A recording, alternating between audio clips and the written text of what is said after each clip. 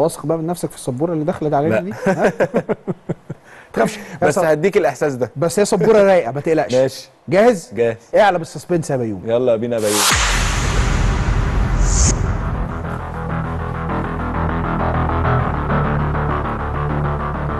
الأهلي أقوى فريق في مصر حاليا في كرة اليد. نعم أم نعم. لا؟ ماشي. أحمد الأحمر أفضل لاعب مصري في تاريخ كرة اليد. نعم أم لا؟ في لعيبة كتير قوي آه في تاريخ مصر لعيبة كبيرة في أساطير كتير. بس أنا بالنسبة لي أحمد الأحمر أفضل لاعب مصري في تاريخ كرة اليد. بعده إجابات سريعة. انتقال لاعبي الاهلي للزمالك والعكس في كرة اليد أمر طبيعي. بالنسبة لي لا. بالنسبة لك لا. ماشي. بعد. هي بتحصل.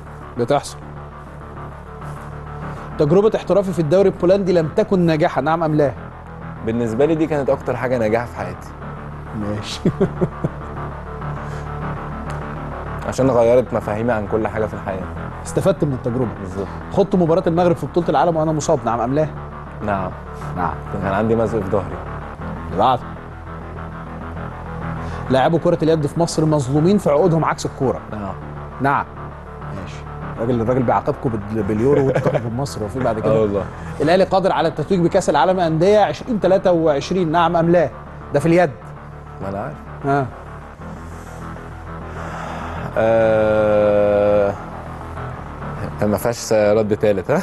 قول اللي أنت عايزه. أنا بالنسبة لي آه، على حسب أنت هتدعم إزاي و... والفرقة هتبقى السكواد هيبقى عامل إزاي. بس طبعا كأس العالم فيه فرق كبيرة زي برشلونة يبقى نعم ولا لا؟ وبالنسبه لي أتمنى إن إحنا ناخد. أحسن مركز يعني بس ماشي. ناخد ميدالية. جاية الاختيارات. ماشي. نجري بسرعة عشان الوقت. أفضل حارس يد في مصر في الوقت الحالي هنداوي طيار محمد علي. ثلاثة التلاتة. ماشي الكلام. مش عايز أوقعك في الغلط أنا عشان كلهم حبايبك في المنتخب برضه. لو كنت حارس كرة قدم لتمنيت إن أنا أكون الحضري الشناوي شريف إكرامي أو أي اسم رابع. ما تفكرش ما تفكرش. جاوب على طول ها؟ اللي في بالك. آه ك يعني ك كتاريخ الحاضر. ماشي. اللي بعده. أفضل محترف في مصر حاليا علي زين يحيى خالد تلاتة. يحيى الدرع. ثلاثة يحيى خالد تقديمه كان حلو قوي آه ما. شاء الله الصراحة. إن شاء الله ربنا يكرمه إن شاء الله بإذن الله. ده آخر سؤال. لاعب زملكاوي تمنيت انضمامه للأهلي. أحمد الأحمر حسن قداح أكرم يسري أحمد الأحمر. أحمد الأحمر. تحب أحمد الأحمر؟ مفيش حد ما يحبش أحمد الأحمر أهلاوي زملكاوي اما يكون هو انتمائي طبعا. حمايد انت شرفتني ونورتني السبوره رايقة أهي سهلة رايقة الدنيا حلوة. والله.